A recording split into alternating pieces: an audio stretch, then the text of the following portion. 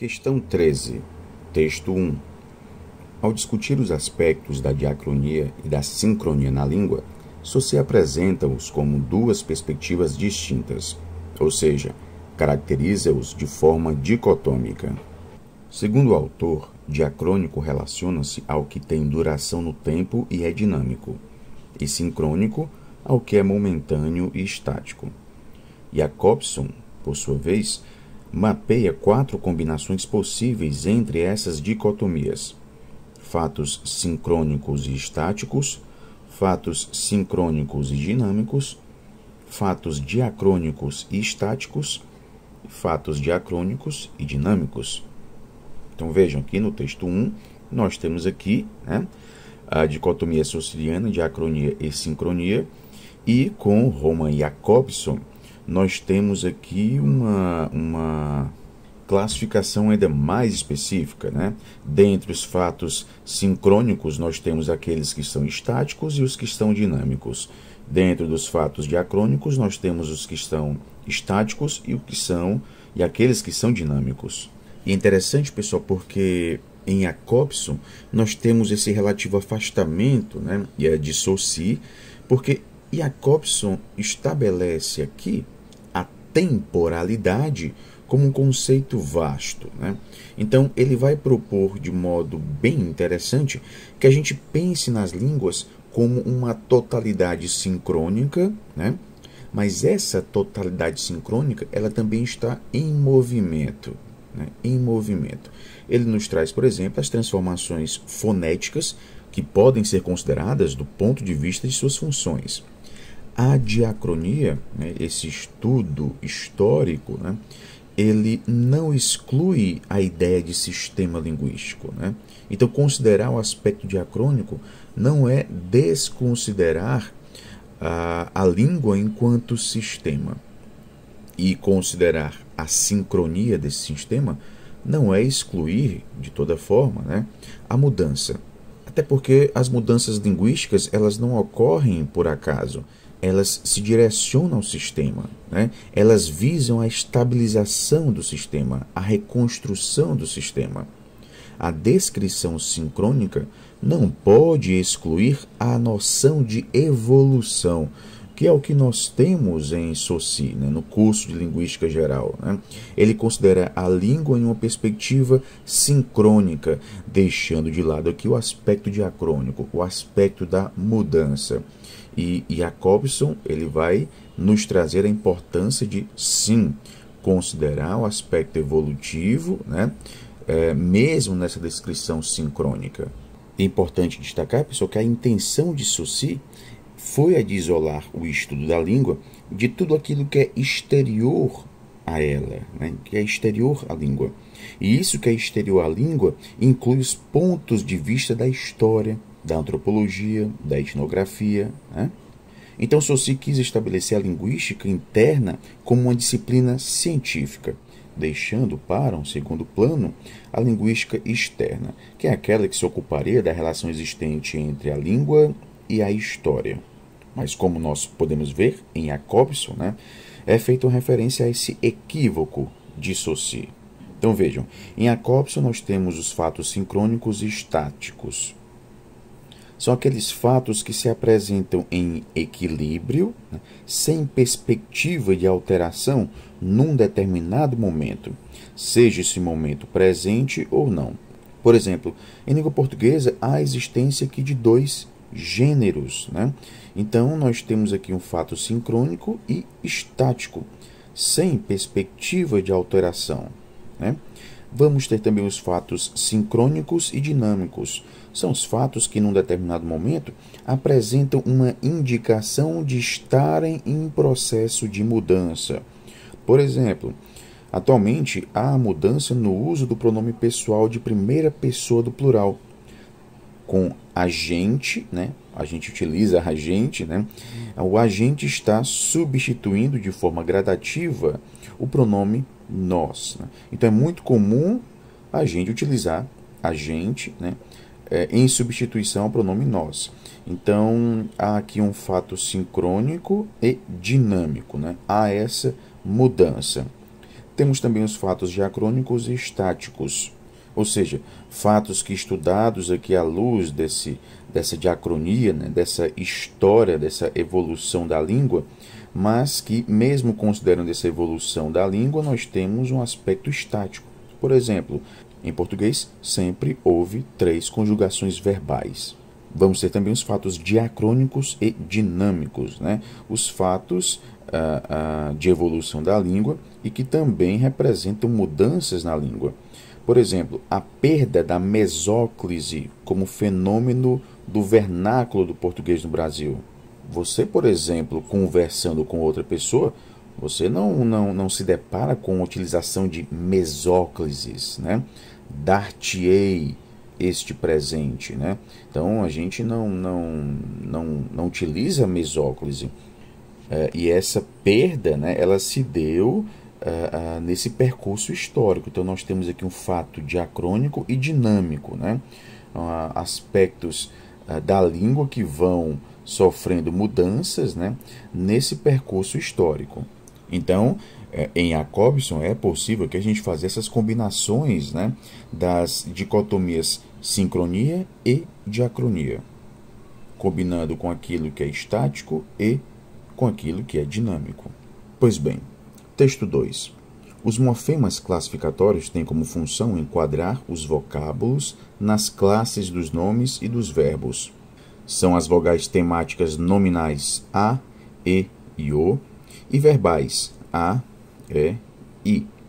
Nos nomes terra, pente e livro, são as vogais átonas finais que classificam essas formas na classe dos nomes. Já as formas verbais cantar, vender, partir têm como elemento caracterizador da conjugação as vogais a, e, i. As formas linguísticas desprovidas desse elemento mórfico são chamadas atemáticas. No caso dos nomes, são atemáticos os terminados por consoante, mar, fóssil, revólver, ou por vogal tônica, cajá, café, cipó, são exemplos de formas verbais atemáticas, a primeira pessoa do presente indicativo. Canto, vendo, parto. Todas as pessoas do presente subjuntivo. Cante, cantes, cante. Cantemos, canteis, cantem entre outras formas. Texto 3. Nós temos aqui uma tirinha da Mafalda, né? Por que os adultos ficam dizendo e fazendo coisas que a gente não entende? É muito simples, Susanita. Quando você entra no cinema no meio da sessão, você entende o filme? Não. Com os adultos é a mesma coisa. Como é que a gente pode entender eles? Quando nós chegamos, eles já tinham começado. Então vejam, Há claramente aqui, pessoal, no texto 3, uma referência feita à importância desse estudo diacrônico, não é verdade? De a gente é, compreender todo o processo histórico né, para se compreender o hoje. Então, é, quando a, a, personagem pergunta como é que a gente vai entender né, o que os, por que os adultos ficam dizendo e fazendo coisas que a gente não entende, ou seja, por que, que eles fazem isso? Né? E a Mafalda responde que a gente não entende porque os adultos fazem isso, porque a gente não conhece né, o que veio antes.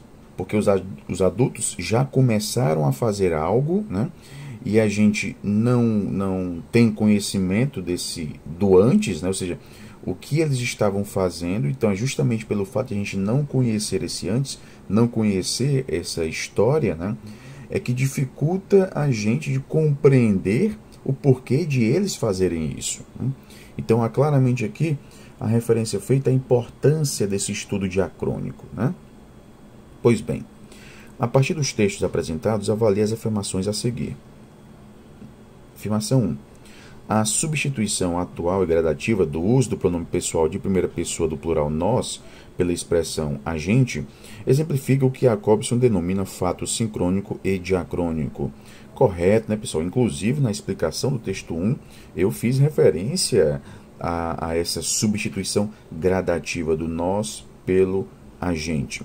Inclusive, há diversas pesquisas sobre isso, né? as pessoas pesquisando sobre a utilização do, do, do, da expressão agente né? em variados contextos. tá bom?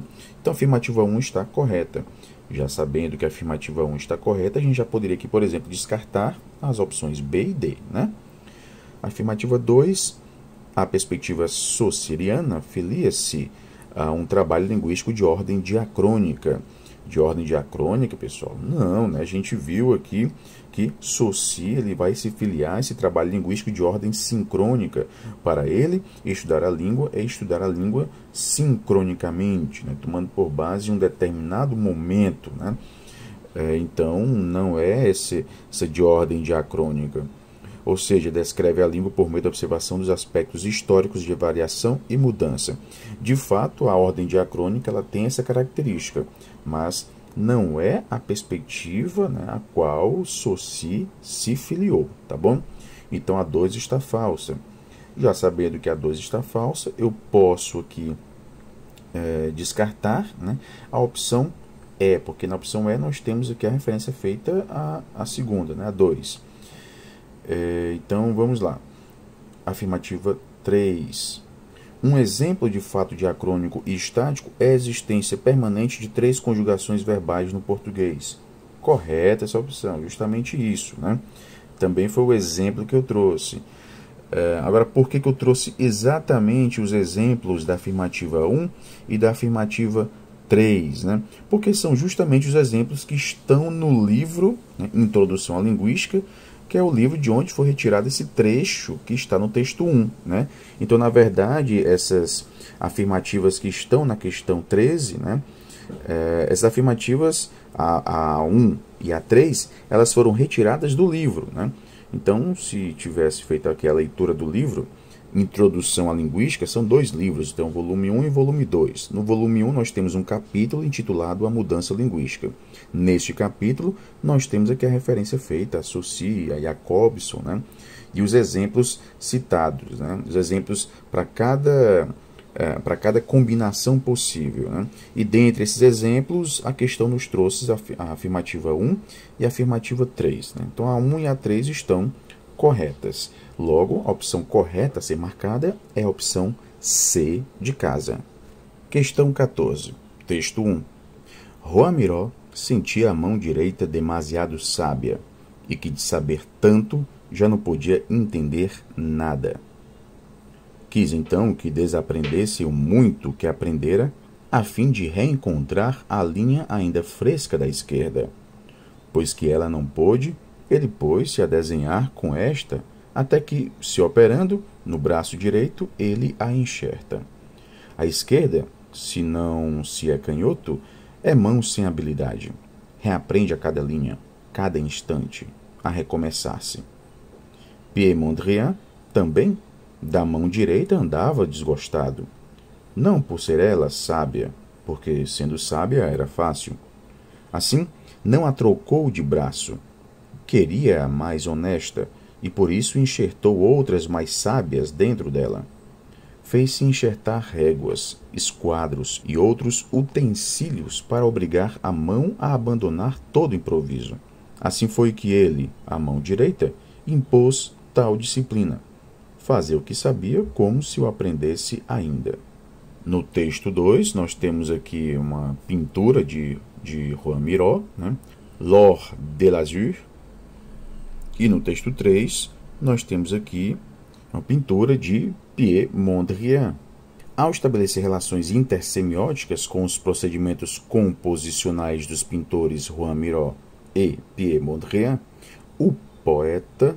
Então vejam, o texto 2 e o texto 3 servem aqui né, para, digamos, exemplificar o que é dito no texto 1.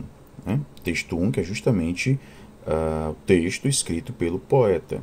Ele diz: Juan Miró sentia a mão direita demasiado sábia e que de saber tanto já não podia intentar nada. Então, a mão direita do pintor né, era tão sábia que não tinha mais como projetar algo novo. É, é como se não, não tivesse mais como improvisar, fazer algo diferente. Né?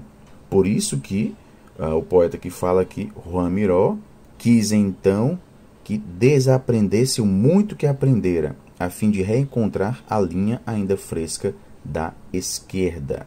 Então, para justamente voltar para esta dificuldade, digamos assim, né, para, digamos, desaprender, ele teve de mudar de mão e passou a utilizar a mão esquerda. Essa mão esquerda é mão sem habilidade, né? se a pessoa não for canhota. É uma mão sem habilidade. Com a esquerda, ele reaprende a cada linha, cada instante, é como se fosse um recomeçar. Algo semelhante ao que aconteceu com Pierre Mondrian. Ele também estava desgostado da mão direita. No entanto, Mondrian, diferentemente de Miró, não trocou de braço. Né? Ele acabou se utilizando de ferramentas, digamos assim, né, para trazer uma dificuldade maior para a mão direita. Ele queria essa mão direita mais honesta e por isso enxertou outras mais sábias dentro dela. Ou seja, ele acrescentou a essa mão, mão direita outras mãos, digamos assim, né, mais sábias. Ele acrescentou réguas, esquadros e outros utensílios para obrigar essa mão, que já era sábia, né, a abandonar todo o improviso. Então, com a utilização desses utensílios, ele trouxe uma maior disciplina a essa mão direita. Essa mão direita já era sábia, mas o que ele quis utilizando esses utensílios foi trazer essa sensação de que o sábio ainda estava aprendendo, ok? Então vamos lá. O poeta, no texto 1, valoriza a imposição de constantes desafios ao ato de criação em um gesto de recusa à improvisação artística. Correta essa opção, né? Reparem que ele faz referência aqui a Juan Miró e a Pierre Mondrian, né? com esses desafios que eles mesmos se impuseram. Reparem que nós temos aqui a valorização a essa disciplina, né? a valorização ao próprio recomeço. Mas esse recomeçar aqui não se relaciona com esse improviso. O recomeçar diz respeito ao reaprender. E reaprender, obviamente, é um desafio é como se os artistas né, eles valorizassem os desafios que vão surgindo. E quando os desafios não surgem, né, quando, por exemplo, as mãos aqui são sábias demais, né, é, é como se não tivesse aqui mais desafios, eles mesmos se impõem né, uh, esses desafios, ok? Então, de fato, a afirmativa A está correta. Na afirmativa B, defende o predomínio da inspiração sobre a técnica. Falso, né, pessoal? Aqui a valorização da técnica. Tanto é que isso se destaca muito bem quando ele faz referência a Pierre Mondrian. Né? Na, na opção C, nega o papel da disciplina. Também falso, né? destaca o papel da disciplina. Opção D. Enaltece a importância da sabedoria e da humildade no trabalho artístico, em um elogio à resignação diante da insatisfação. Falso, né, pessoal? O, o, artista que ele não, não tem essa resignação, ele justamente se volta contra né, essa insatisfação, né, projetando novos desafios para serem superados. Então a afirmativa D está falsa. E a afirmativa E relaciona a inabilidade artística ao desenvolvimento de uma técnica pictórica singular, em vista de contrapor a originalidade à imitação. Também falso, né, pessoal? Então, a opção correta da 14 questão é a opção A.